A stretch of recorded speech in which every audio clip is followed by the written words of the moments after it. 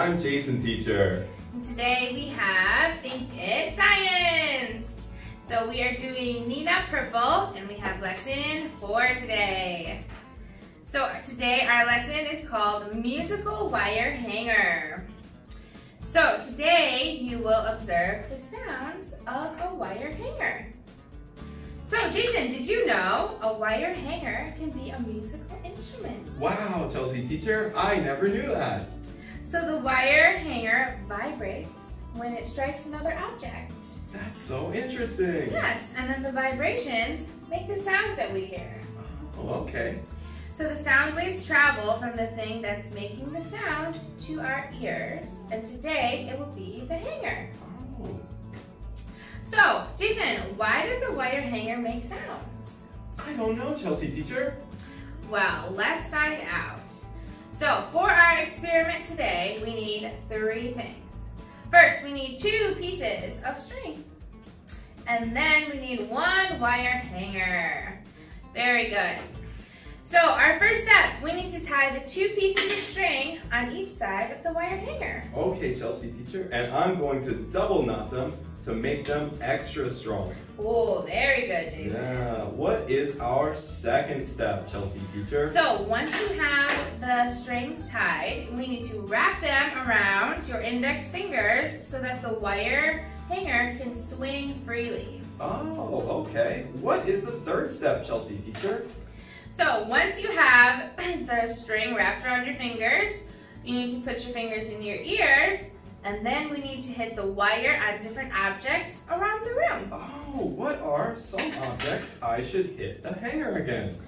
Um, let's see, today we're gonna hit them against four things. Oh. First being the door. Mm-hmm. Second, um, the wall. Oh, And third, we will try the chair. okay. And then last, we will do the leg of the desk.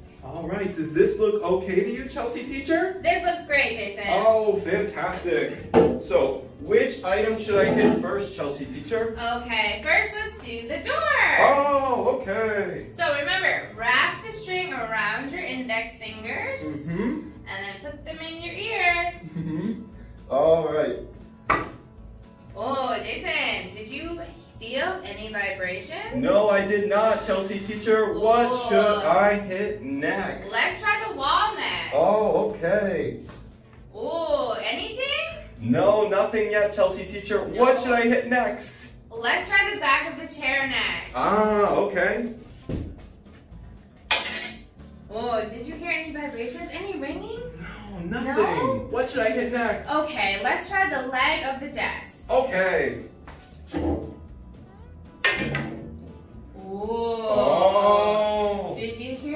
Yes, I did. I think the leg of the desk is metal, so I can hear a ringing sound, and the other three objects are wood, so I could hear no ringing.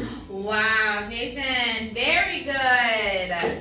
Okay, so to recap, Jason, did you hear any ringing when you hit the door? I heard no ringing when I hit the door. Okay, what about the wall? Nothing.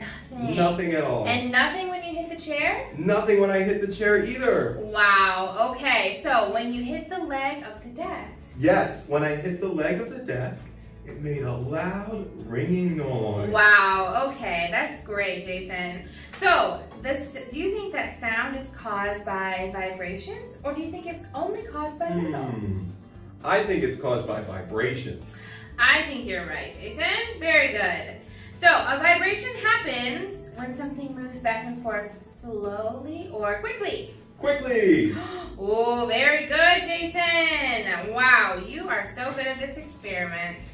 So, let's do some review, Jason. Okay. A thing that vibrates makes a sound or a thing that swings makes a sound? What do you think? I think it's a thing that vibrates makes a sound. Very good. And number two, do you think that sound or light moves from the hanger to your ears? I think that sound moves from the hanger to my ears. Ooh, wow, very good. All right, number three, wood or metal makes a ringing noise. I believe that metal makes a ringing noise. I think so too, because when you hit the chair, which is made out of wood, there was no ringing noise. Mhm. Wow, very good. Okay, Jason, now we have some true and false questions. Are you ready? Yes, I'm ready. Okay, number one. Sound cannot move through the string.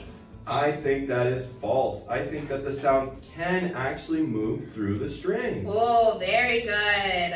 Okay, number two. The wire hanger makes sound waves. I think true. I think the wire hanger does make sound waves. Yes, and that is our instrument today.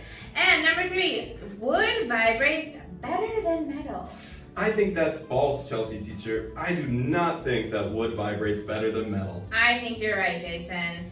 And number four, the wire hanger makes different sounds when it hits different objects. True, because when I hit the wood objects, it did not make a ringing sound. But when I hit the metal, it did make a ringing sound. Oh, very good, Jason. Okay, so that is the end of our experiment today. Great job. Thank you, Chelsea teacher.